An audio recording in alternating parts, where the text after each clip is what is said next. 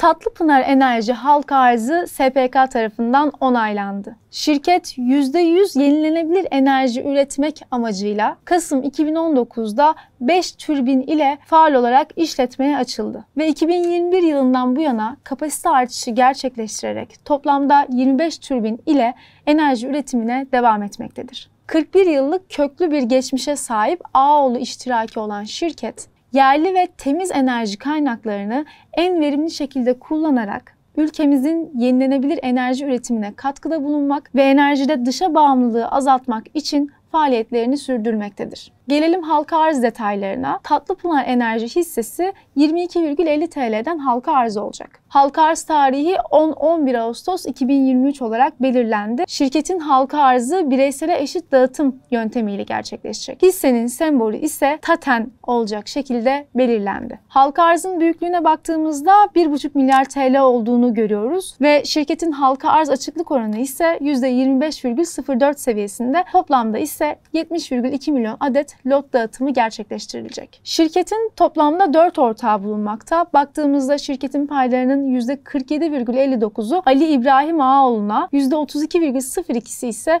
Hüseyin Avni İbrahimoğlu'na ait, %20,38'i Akdeniz İnşaat'a ve %0,003'ü ise Ali Can İbrahim Ağaoğlu'na ait olarak gözüküyor. Gelelim şirketin finansal gücüne. Baktığımızda 2020 yılında şirketin 20,5 milyon TL'lik bir geliri bulunmakta bulunmakta. 2021 yılına geldiğimizde 300,2 milyon TL ile oldukça sert bir yükseliş e, gözlemlenmekte bu gelirlerde. 2022 yılında ise gelirlerin 1 milyar TL'ye ulaştığı gözüküyor. Az önce de belirttiğim gibi o sert yükselişin oranına baktığımızda 2020 yılından 2021 yılına gelirlerdeki artışın oranı %1360 olarak belirtilebilir. Şirketin hasılatının tamamının elektrik üretimine dayandığını belirtmekte fayda var. Tabi şirketin hasılatının da yıldan yıla artmasının sebebine baktığımızda özellikle Tatlıpınar RES bünyesindeki türbinlerin kademeli olarak devreye girmesinden bahsetmekte fayda var. Bunun dışında ise döviz kurlarındaki yükseliş ve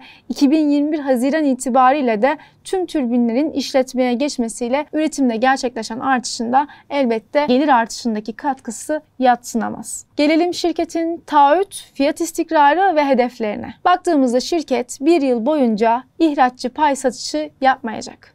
Yine bir yıl boyunca ortaklar tarafından da bir pay satışı yapılmayacak. Tabii e, herhangi bir satış, bedelli sermaye artışı yahut yeni halka arza ilişkin açıklama yapılmasından da kaçınılacak. Tatlıpınar Enerji'nin halka arz gerekçesine baktığımızda ise şirketin öz kaynaklarının güçlendirilmesi hedeflenmektedir. Yine yapılacak rüzgar ve hibrit güneş santrali yatırımlarının finansmanı, finansal borçların ana para ve faiz geri ödemelerinin finansmanı, işletme sermayesinin gücünün güçlendirilmesi, büyüme hedeflerinin devamlılığının sağlanması, sürdürülebilir kurumsal yapının oluşturulması ve raporlama standartlarının geliştirilmesi, şeffaflık ve hesap verilebilirlik düzeyinin yükseltilmesi ve son olarak da şirket paylarının likit hale getirilmesi neticesinde kredi verenler nezdinde gerekmesi durumunda daha düşük maliyetle borçlanma imkanına kavuşması olarak halka arz gerekçeleri sayılabilir. Peki son olarak şirket bu halka arz tarz gelirini nerede kullanacak bir de ona bakalım.